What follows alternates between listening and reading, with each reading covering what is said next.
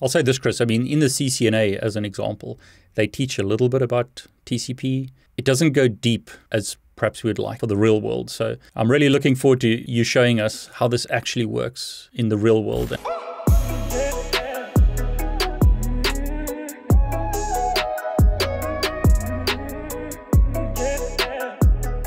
Hey everyone, it's David Bombal back with Chris. Had a lot of great feedback from our previous videos. Chris, welcome. Hey, it's great to be back here with you, David. Thank you for having me back. Yeah, so what are you going to show us today? Because I'm quite excited about this topic. Yeah, so uh, we had a lot of comments, like you mentioned, for the last couple of videos. So I thought what we could do is just back up a minute and take a look at some TCP concepts learn some core TCP things that will help us to be better troubleshooters, better analysts, and even better hackers if that's what we're uh, getting into. Let's get straight into it and then I'll ask you a bunch of questions. Now, for everyone who's watching, please put in the comments below the kind of stuff that you want me to ask Chris on future videos, you know, stuff that you want to see. We want to create a whole bunch of videos, including a series on TCP. So see this as like the first video in the TCP deep dive series, but let us know, you know, questions that you've got.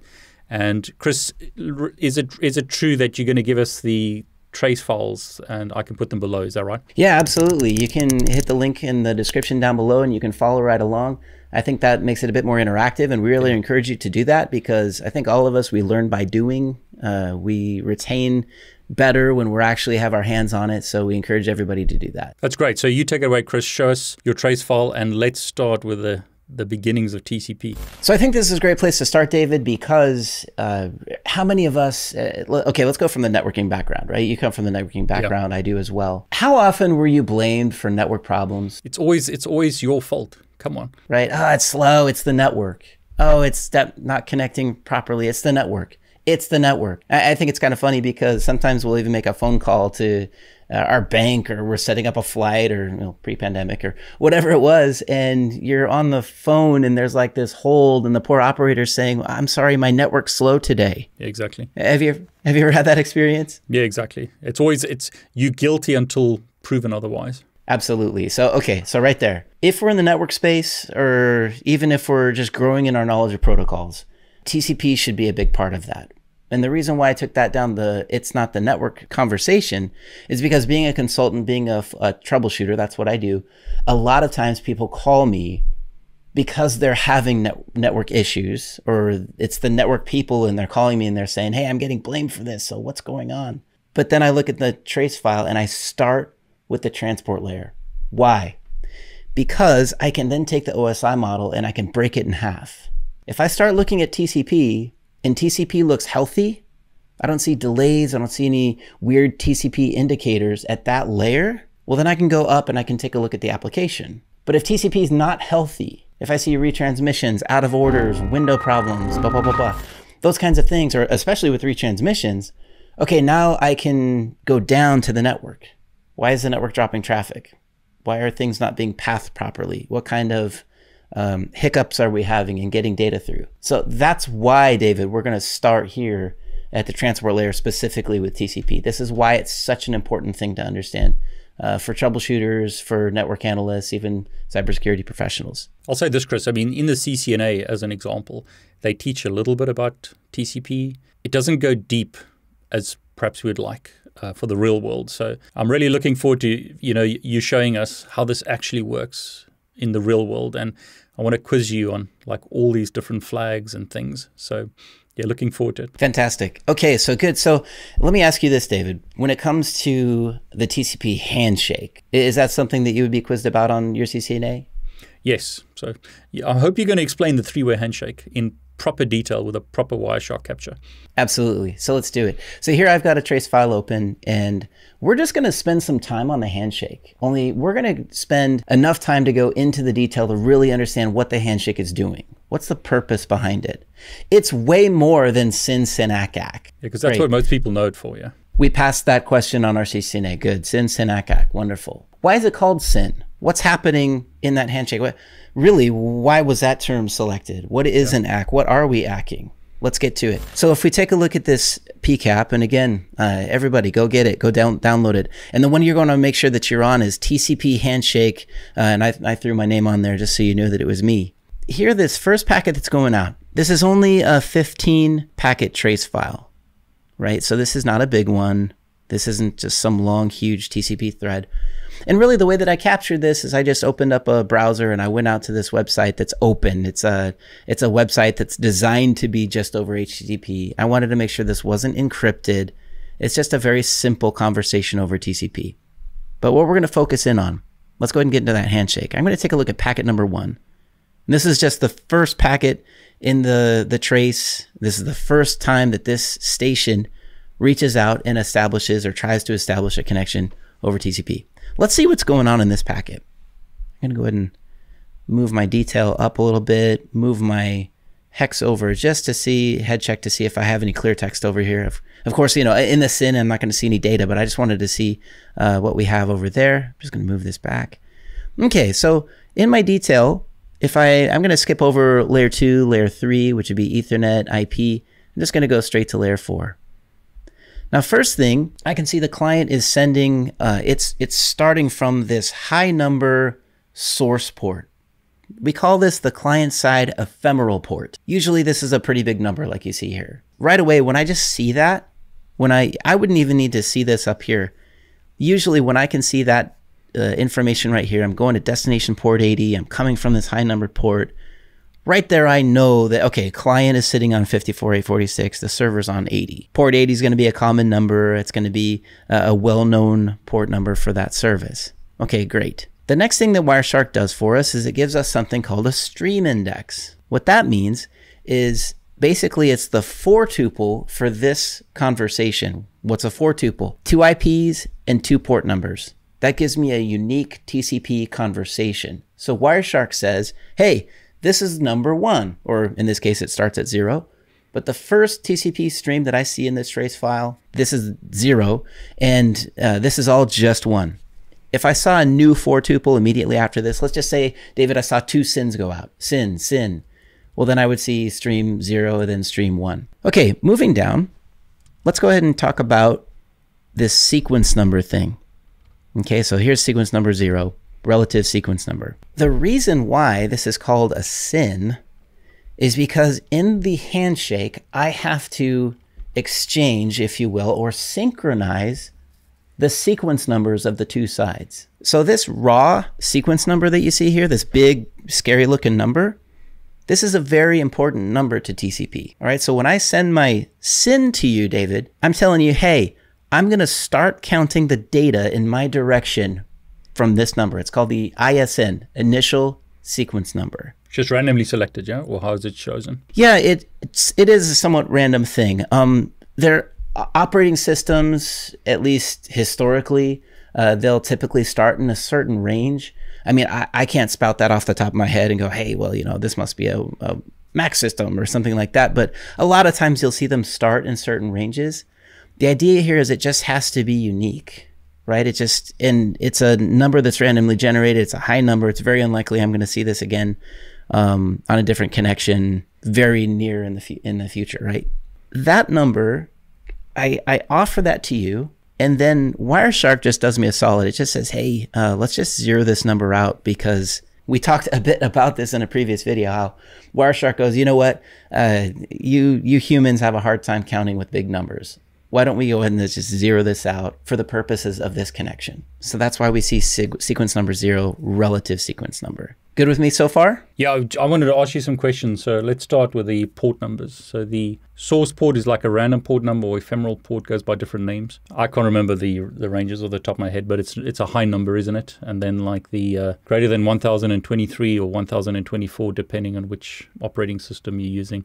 I think, Chris, that's the thing. I mean, you've got a lot of experience doing this in the real world. Different operating systems handle the port numbers and, like you said, the sequence numbers differently, don't they? Yeah, they do. And and really, when it comes down to it, something just when we're getting started with this, just to remember that as long as this isn't the same, right? So if I start a connection to you, David, I got to use 54846. If I want to start a new connection to you, well, then I can either increment it by one um, depending on the operating system, it might be again be random. I could jump up to 55, 900 or something like that. But the point is, as long as it's unique, then when you are communicating data back to me, my machine knows what to do with it. Right? That port now gives me um, a place to, to stick that data that the application can use. So there's there's something that happens in the handshake, and this is where we're going to start to deviate from the the the simplicity of SYN ACK. This is what's actually going on under the hood. You notice my next sequence number is one. Yeah. What this means is that Wireshark is telling me this is a Wireshark value. Anytime you see these hard brackets here, that's Wireshark giving me information. This is not actually a part of the protocol itself. This is Wireshark doing me a solid. You, you see it up here, TCP segment length, stream index. The port numbers are a part of the protocol. So is the sequence number, but th this is just extra info uh, that Wireshark's helping me out with. But it says sequence number one. So what happens when I send you a SYN, okay, you're going to be the server, right, David? I'll be the client. I, I send you a SYN, hey, Mr. Server, here's my starting sequence number. And I also, there's an action that you're going to take when you respond. You're going to add one to the sequence number and respond plus one. What that does is it allows me to know that you heard me. Yeah, in the, in the handshake, it's called a ghost byte. It's not a real byte of data. It's not a true actual byte that I needed to send. But what you're going to do is you're going to increment the sequence number by one, and then you're going to send me back an acknowledgement number plus one. So let's do this. Let's just remember this 7413 right here, okay? Take a look at our SYN-ACK. I'm just going to come down and take a look at the... Now, the acknowledgement number in the SYN-ACK. So 7414. Okay, I'm going to do that again. All right, let me go back up to my SYN. 7413 here. And then you come back and you say ACK, but plus one. All right. So what does that do? Now, the relative ACK number is a little easier to use. You're just taking the zero I sent you, the quote unquote zero from the Wireshark perspective, and you just added one to it. So what do I know now? If I'm a client, first of all, this, this SYN-ACK just gave me a bunch of information. David exists. I can route to David. David heard me, right? He's got space available on port 80. He's got resource to accept a new connection he went ahead and added one to the sequence number I sent him. So he he we're, we're synchronized. As far as I'm concerned, you just ACKed my SYN. I'm now good. I'm now perceiving that you're you're there and we can we can chat. Now there's more going on beneath this, but I'd like to stick on this for a moment just because it's so important. So you can see the amount of things I've learned. What else have we learned from the SYN-ACK that you sent me? If I come up here, let me take a look at my delta time. My delta time is the amount of time I have this set up in Wireshark. It's the amount of time between packets. All right, now that's uh, something that's pretty simple to set up. This is something you want to make sure you do in Wireshark. I'm just going to come up to Wireshark preferences. If you're in a Windows system, we're going to go to edit preferences. Let me jump there real quick. And I'd like to show you, if I go to columns, all I got to do is I just got to add a column. Let me just go delta. And then for the good viewers, you just come over here to type and then we're going to come up to delta time displayed. And then once we have that, I just like to, as a, a style thing, I just like to move this up next to the running time that I have there. I'm going to remove this because I already have one. But basically, delta time is a great column to have when you're doing this analysis. So now what I know, David, is you in time are 20 milliseconds away from me. So that's nice to know. Do you agree? Yeah. Yeah. It's not a server on the other side of the world. Exactly. Yeah. And in fact, I can take this 20 and what else can I learn about David? Well, I can come down here to IP. I can expand this out and I can go to TTL and I can go, whoa, okay, 238. Now we uh, talked about this in a previous video, but right now I know David, he probably started his TTL, his IP TTL at 255 because this number, number never goes up.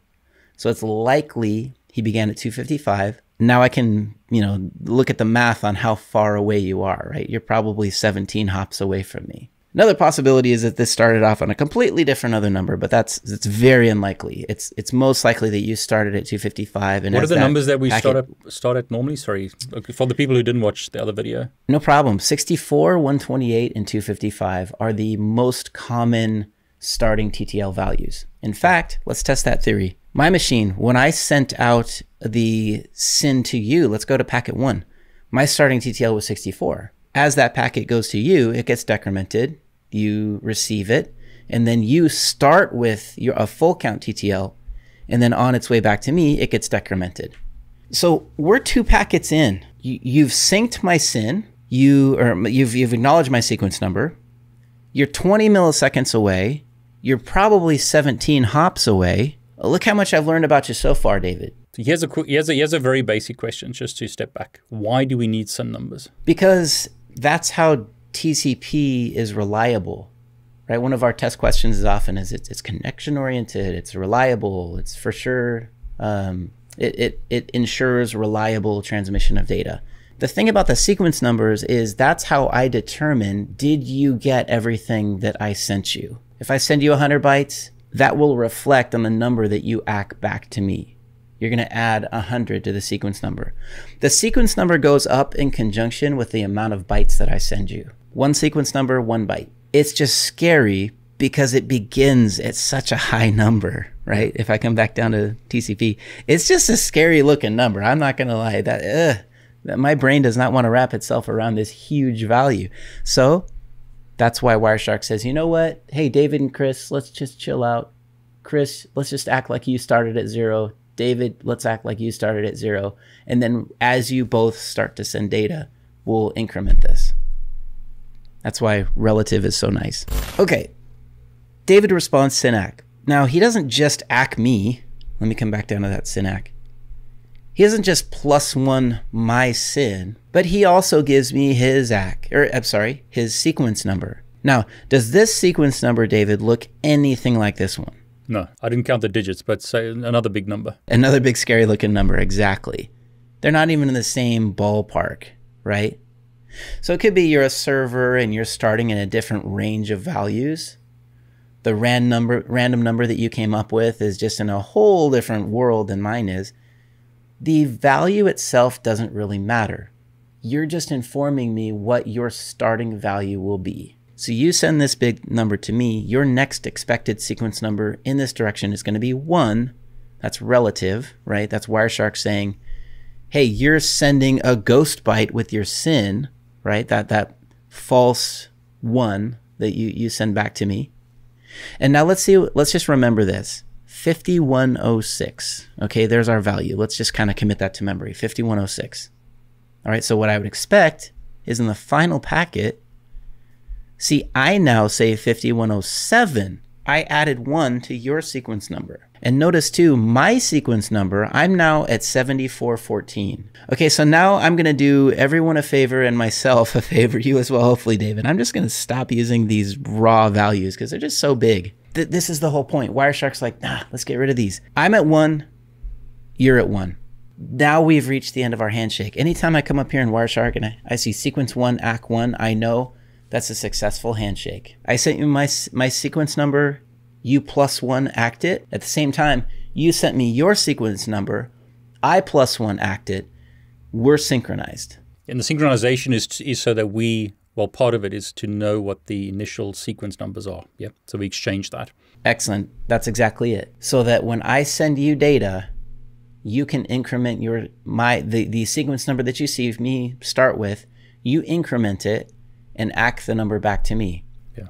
I take your sequence number when you send me data and I do the same. Our sequence numbers are completely they're completely isolated to our direction or rather they're they're uh, direction dependent. What I mean is that I'll never add, multiply, subtract, divide these values. The, these values will never intersect. They'll never be some mathematical equation it's just in my direction, we're using this 17796 number. And in your direction, we're using this 205805 yeah. number. And does it, I'm, I'm going to ask you all the basic questions that people may have. Is the first one always a SYN? Is the second one always a SYN-ACK? And is the third one always an ACK? Is it like always like that? That's a great question. And the answer is yes. Uh, we can't start, for example, on this get. This is the application sending data. Now, now let's actually do this. Um, th there's an actual payload sitting in here, right? TCP payload, 501 bytes. And there's actual data sitting inside this TCP segment. So I can't just put this 500 bytes out there on the wire and just hope, David, you know what to do with it simultaneous yeah. to processing it and, you know, preparing the response. I first have to set up the connection. So your question was a good one. We have to establish that connection using this three-way handshake for every connection that we, we establish. SYN, SYN, ACK, ACK. Over there, the data sent was 501 bytes or something. Is that right? Um, yes. So does this sequence number jump from? Did I read that right? It jumps from one to 502. Is that right? Because 501 bytes were sent. Is that is that correct? Good question. Actually, you know what? I think it's a good idea. We'll stay on the sequence numbers for right now, and I'll get to the TCP options in a minute. So I, I like I like where you just went with that. I'm just going to collapse my IP. It's just that it causes so much confusion because the big numbers and um, you know how how do they increment exactly? And I think you said uh, one byte is one number relatively. Is that right? It is. So let's all go down to packet four. Now, if we take a look at packet four, here we have, there's my sequence number, and I'm not going to use this big scary one anymore, okay? So my sequence number is one. And David, I have a 501 byte payload here. TCP does not care what the payload is. It does not matter to TCP. It's just data. It's whatever that application up there, that application could be anything. The application opened the hatch, threw 501 bytes down, TCP caught it, and now TCP is like, look, my job is getting this over reliably to the other side. So I've got 501 bytes of payload here. So what I do is I say, here you go, David. Sequence number one, I'm starting here at this value. The next expected sequence number in this direction, me to you, the next place I'm going to begin in this direction is at 502 because I just sent you 501 bytes. In on my side, I basically jump forward to 502. If there's any more data that comes down the hatch from the application, I'll send it to you with a sequence number of 502. Let's see what you do back to me. 25 milliseconds later, I hear back from the server, and let's check out the acknowledgement number. 502. What do I learn? My data got there. 501 bytes of data. Basically, when I send you data, David, I'm going to basically hold back a copy of that data, if you will. In my send buffer, I can't clear this 501 bytes out of that send buffer until you get you act 502. Once you've act 502, I can say, great, okay, 501, get out of here. Now we can make some more room for some more data in here. Okay. That's why an unreliable link or something can slow the whole process down because you've got to buffer that until I acknowledge it. Yeah. Absolutely. Yeah. Imagine if, uh, and we'll get into this in other trace files. Uh, imagine if I don't hear this acknowledgement. Yeah. What do I do then? Well, then I gotta, I got basically have to wait for a timer to expire. Uh, I'm like, you know what, David? I, I put that 501 bytes out there uh, I'm going to, a timer will expire on this data and then I will retransmit. But right there, imagine the information that we would learn. Our handshake worked, but that get didn't. So now where on our network are we losing that packet? I was going to say, okay, so then, so 502 has been acknowledged. So on the client side, seeing that we're doing the client side at the moment, the next packet that he sends can you look at the next one? Will it be like some other number? So some other data has has been so it's 534 bytes. Is that correct? That's been received from upper layers. Good job. Yeah. No, this is our next packet, packet six.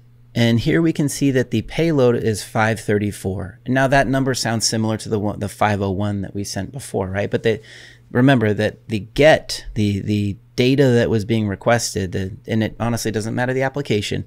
This is 501 bytes that the client sent to the server that was acknowledged. And now the server is responding with this is the actual application response. So the application opens the hatch and said, Here you go. Here's the response for Chris. Here's 534 bytes. Get it across to him. So you say, Okay, starting at sequence number one, you send your 534 to me and your next expected sequence number in this direction will be 535. And you've kept it, the, you kept the ACK at 502. Yeah, sorry, go on. Good job. That's exactly where I was going. 502.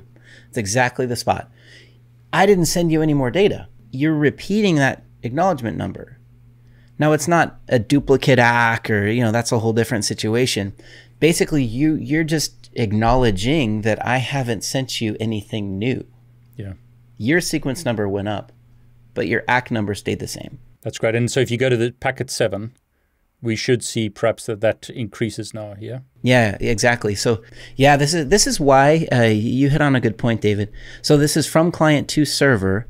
My sequence number is now 502, but now my acknowledgement number is 535. So now I am acking the 534 that you sent in your direction.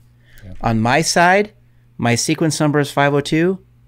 On your side, we've incremented that to 535. All right, we've both have sent data in each direction. Now, you hit on a good point though.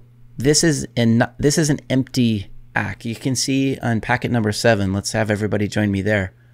TCP segment length is zero. I call this an empty ACK. The purpose of this packet is only for you to, or for me to acknowledge your data. I'm not sending anything new. So that's why, uh, and uh, the viewers, if you'd like to, this might be a good thing you can do on your Wireshark profile. You can just right click TCP segment length and add this as a column. One of the reasons why I like to do that is because now I have TCP segment length here. Now I can see payload length and not overall packet length or frame length if I'm looking at it including the IP header and the Ethernet frame. If I only want to see the data payload and how much data is there, uh, that's where I like to have that as a column let me back up. How are we feeling, David? Do you how you feel about sequence numbers? Yeah, I wanted to. Sorry, Chris. I'm trying to push home this point because we started with a client. So if you scroll down, is there where's the next one that the client's sending to the server? Because we were at 502, and hopefully at some point we'll see the client send some data to the server. We should have gone the. Was that? Yeah, there we go. So, um, so 502, we got five, 439 bytes from the upper layers. Um, so the next sequence number is 502 plus 439. Is that right? That's correct. And that's a good spot. So in this direction, from client, so from me to you, let's take a look at our next get. It's 439 bytes. I start at 502 because that's where I'm at, right? My sequence number has moved to 502 and I haven't sent you anything else in this direction until this point. Now I add 439, 439 more bytes I'm putting out on the wire. The next place I expect to start in this direction is 941. It's 502 plus 439 equals 941. At the same time, I expect 941 to come back from you because that tells me you got my data.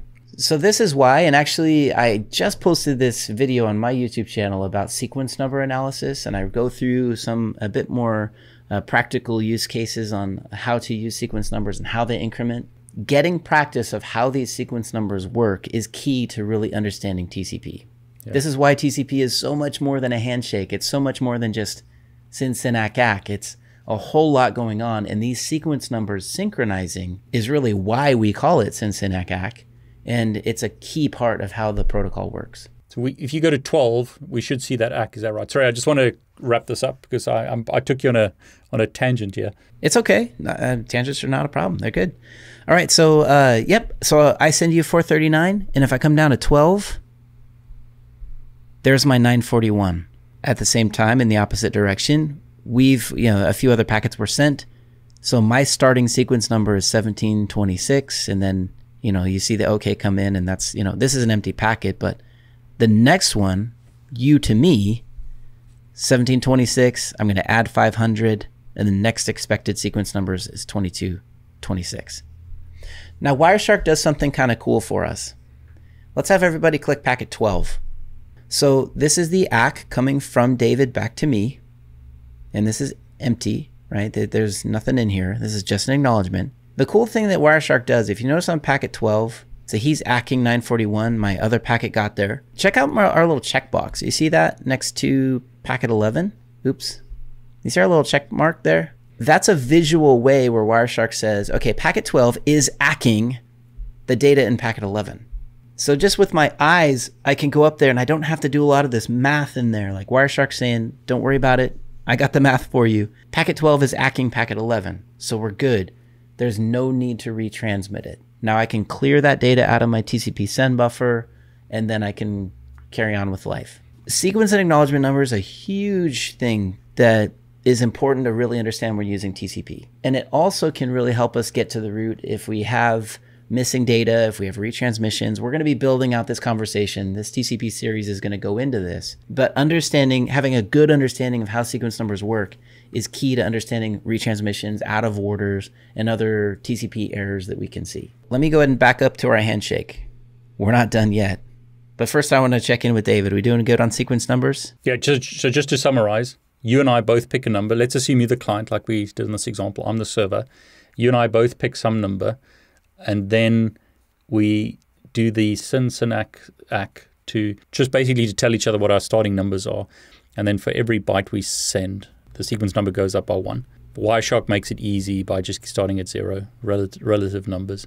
the numbers are totally independent of each other. It's like two separate streams. You mustn't confuse one with the other. And I think that's what gets confusing because you look at all those numbers and you get, I find it difficult like, okay, so which side am I looking at and, you know, which numbers are relating to which? You've got to kind of separate it in your mind. Is that true, Chris? And then how would, how in the real world, because you do this stuff all the time in the real world, how do you, you know, get your head with all, around all these numbers and data and stuff? Is it just practice or, you know, are there any quick tips? Oh, that's a, that's a, a good point and an absolute truth. It, it, can be hard to wrap your head around all these numbers. And I think that's where people can get confused. It's easy to get confused about TCP. Pra- practice is a big one. Just looking at these flows and really what you and I just did, step through them one packet at a time, packet at a time, and watch how these numbers increment. I'm not going to lie to you though, David. I'm I'm kind of old school. When someone sends me a PCAP file, and I realized that I got to go down to the TCP road and I got to do my TCP in depth analysis, I'm not joking. I get out a, a, big piece of paper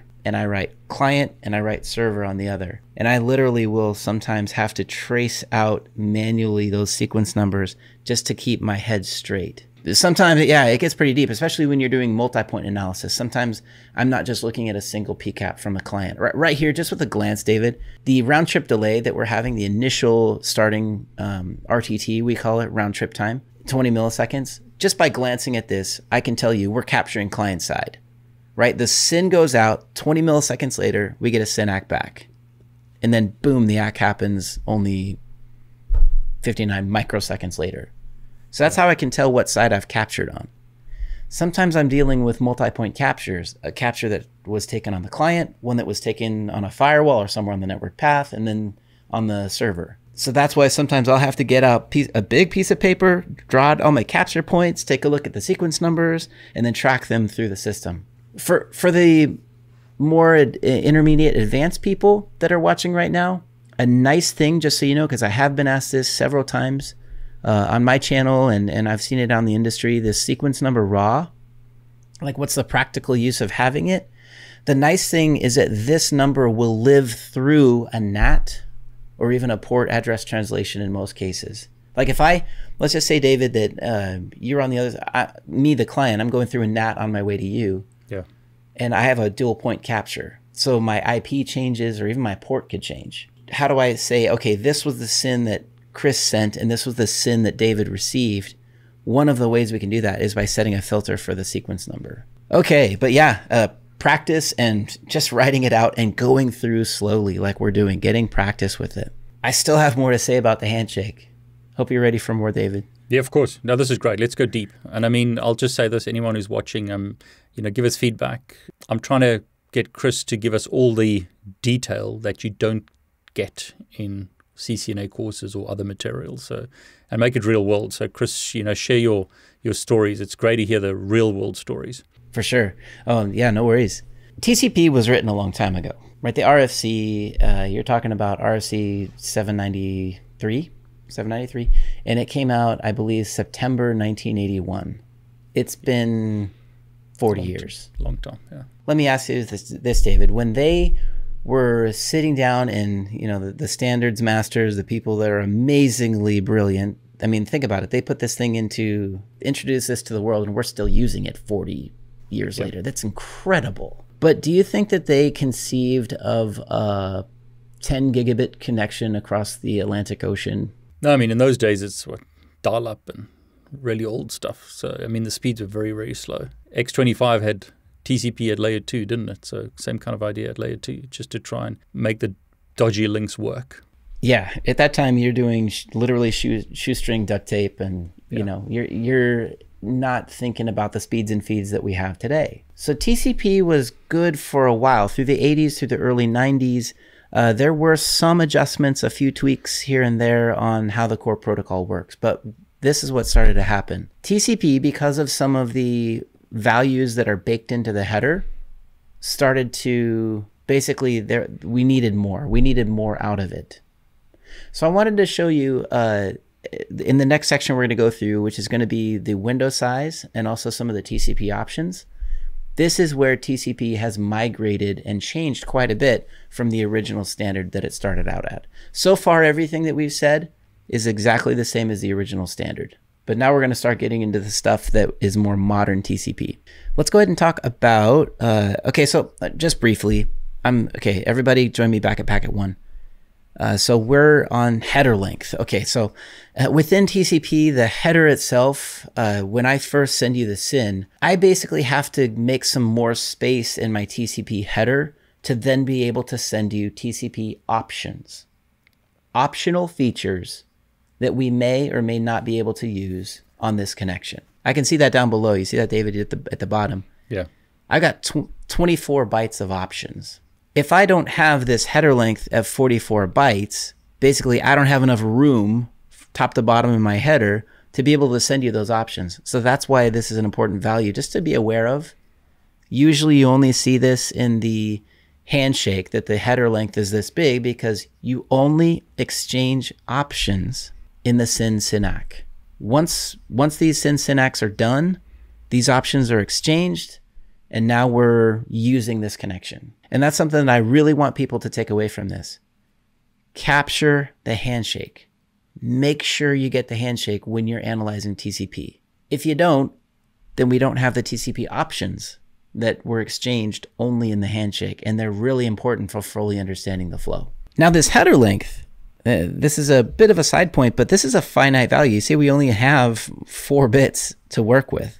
Okay, so the header length can only grow to a certain point. That's why right now, uh, one of the reasons why we've needed to move to a new protocol like QUIC is that we're starting to run out of the maximum space that the header length can be. That means that we we don't have a whole lot more room for options anymore. Like I can't come up with a new Chris option that makes TCP do some cool new awesome thing because we just we're running out of space. TCP is starting to reach a bit of a limit. So that's why and this is fuel for another video, David.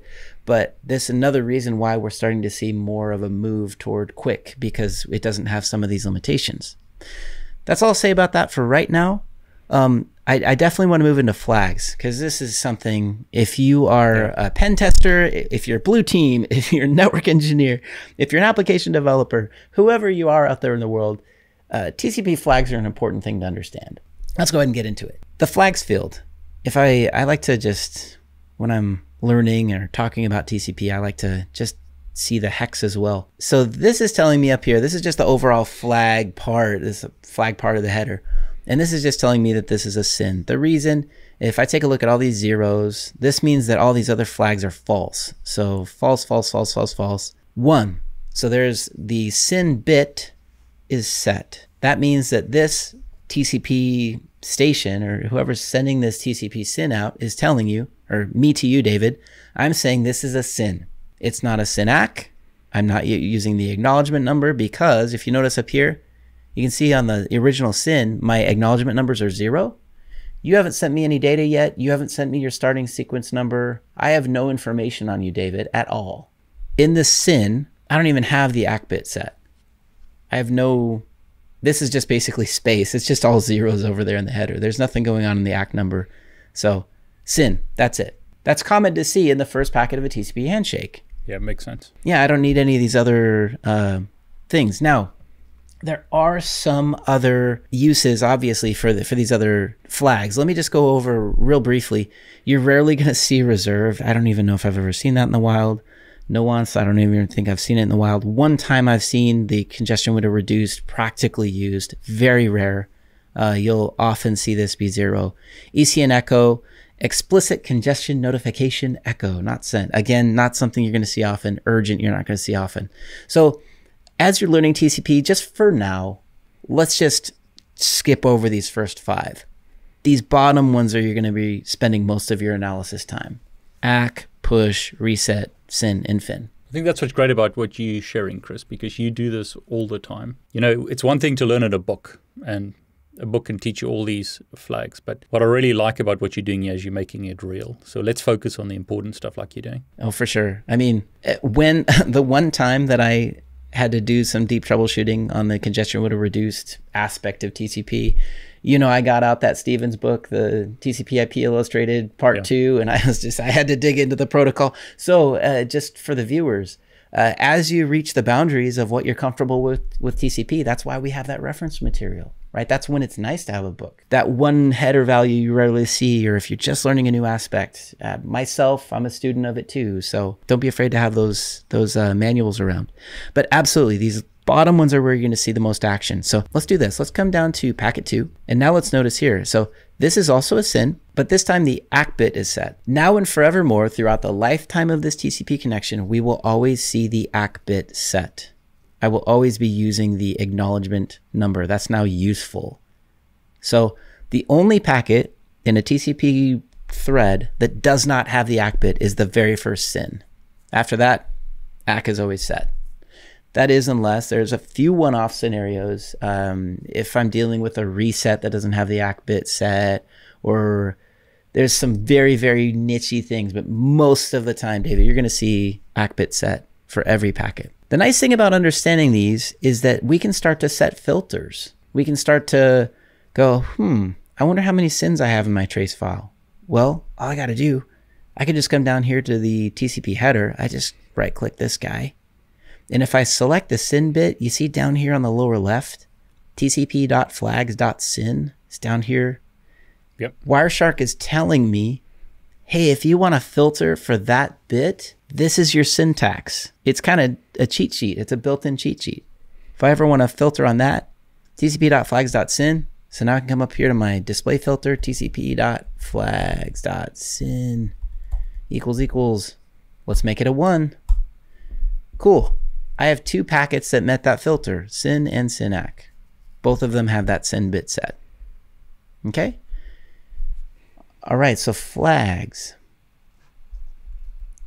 Now, um, as we go forward in our series with TCP, deep dive into TCP, we're going to be covering some of these other flags. We're going to be covering FIN.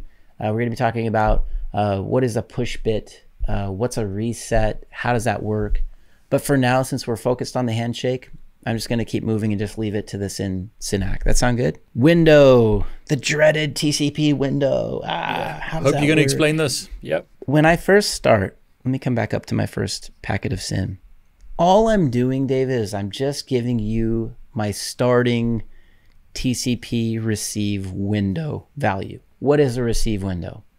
It's basically a receive buffer. I'm just telling you, David, don't send me at once any more than 65535. If you have a gig to send me, you can send me 65535, but you have to wait until I ACK that data. You get those ACKs, you can send me this next block. This is by why window size historically has been a bit of a limiter when it comes to throughput and how much throughput a TCP can can take advantage of on the network. A lot more to say here, but I just want you to keep it simple.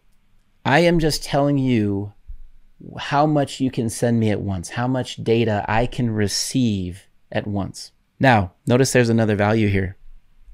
Okay, so that's a receive, or that's my TCP receive window. But there's another thing here, calculated window size. All right, so now we're really, now we're starting to cook with some gas. It didn't take long for TCP to basically, I, I should say the network to outgrow TCP. Because, okay, right now you're in the UK, I'm in California. Uh, if I told you to send me a one gig file with all the latency between me and you, but you can only do it at 65, 535, do you think that would take a little bit of time? It's going to take a while. Problem is, is we have to eat the round trip for every single 65K you send. All of that latency is what's going to destroy our throughput. If I told you, hey, David, I've got a one gig receive buffer and you've got a one gig file, fire away. Yeah. Like I've got this huge swimming pool behind me. I, I like to use water analogies when I'm talking about these things because water through a hose is, is kind of easy to understand. Yeah. If you have a swimming pool to send me and I'm on the other end of a 100 foot garden hose, but I only have a little shot glass or a teeny little glass to receive data into. You got to send me the whole swimming pool one shot glass at a time. David, how long does that take? It's going to take us a long time. Yeah, very long time. It's crazy. And you have to wait. You can't send me any more. You send a shot glass down that hose. I catch it. I catch the water. And then I say, all right, David, got it. Send me the next one. And I dump that shot glass into my swimming pool. And then you then you send me the next shot glass. Literally, this is what we're trying to do. Obviously, the choke point here is my shot glass.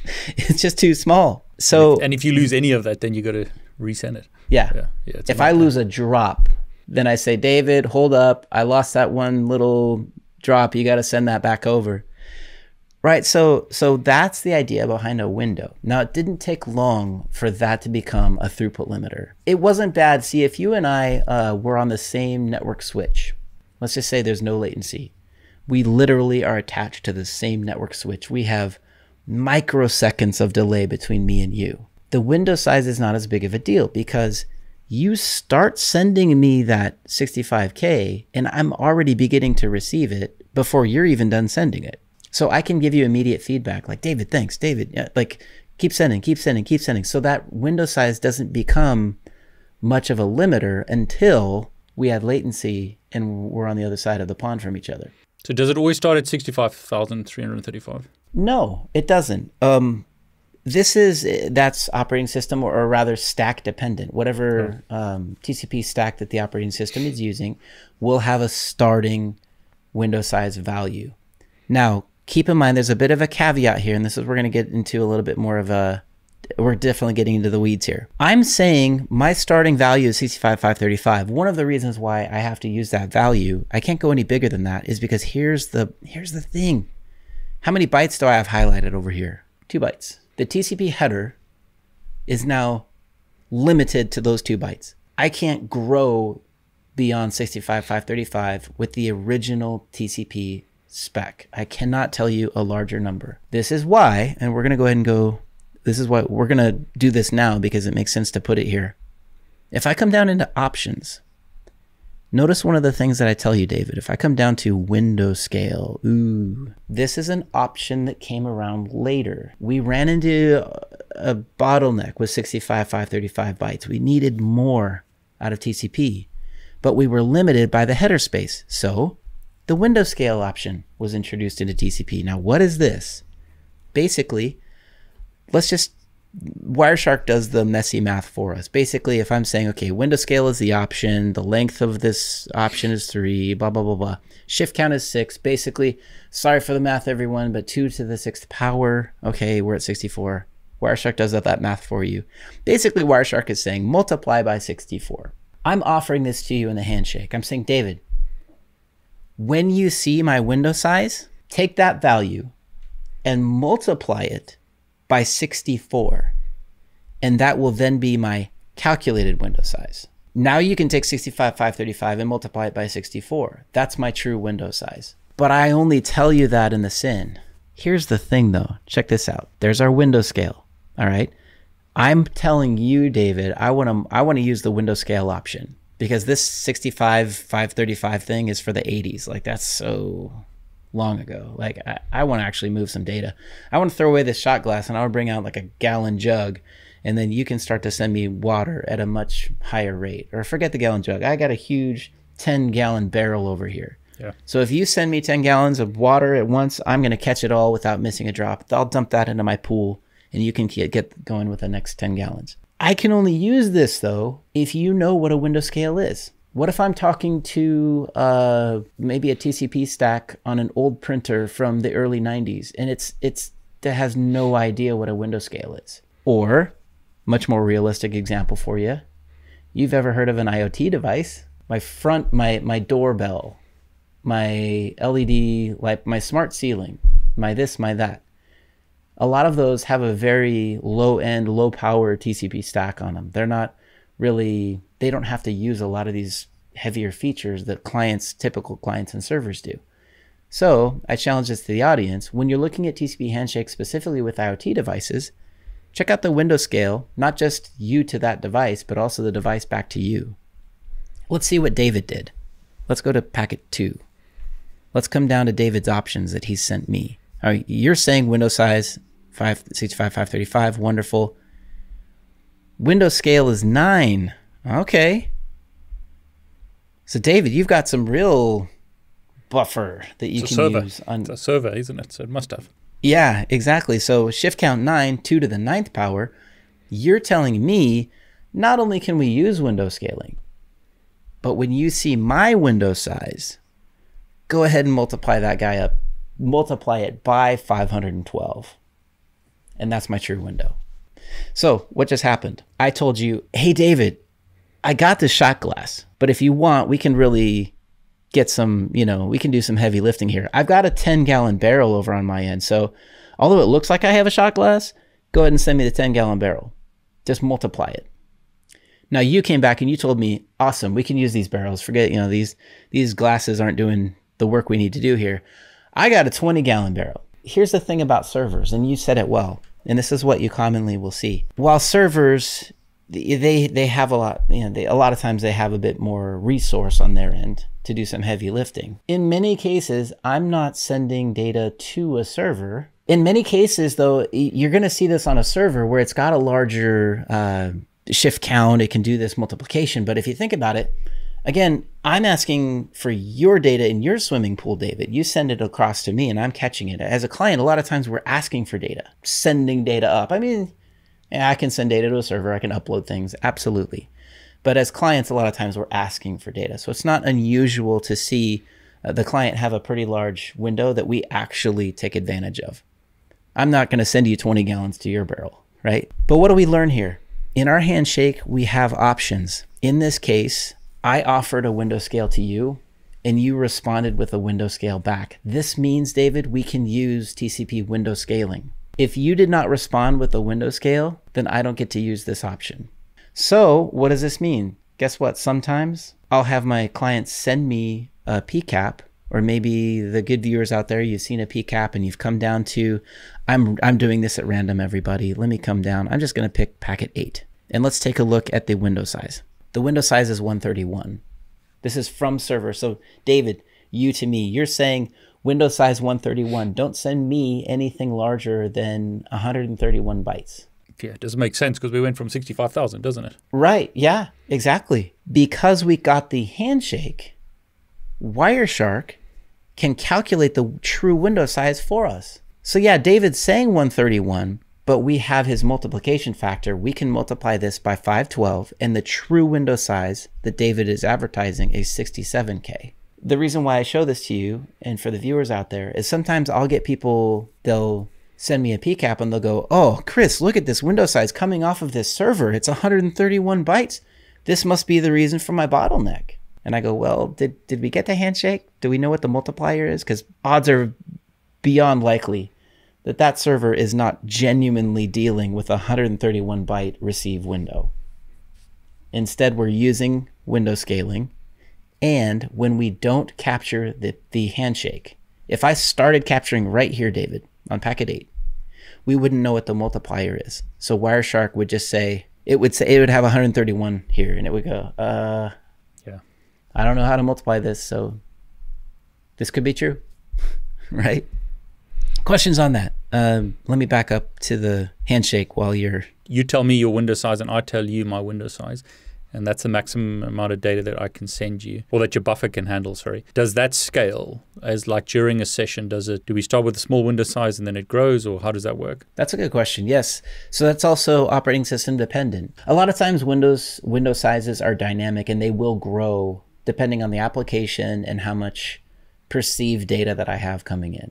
So for example, uh, if I do a get on web, typically a web application, okay, I'm bringing data in. A lot of times what you'll see the TCP stack do is it will grow this this window size. This is not this finite number that's always static. In fact, let's do this.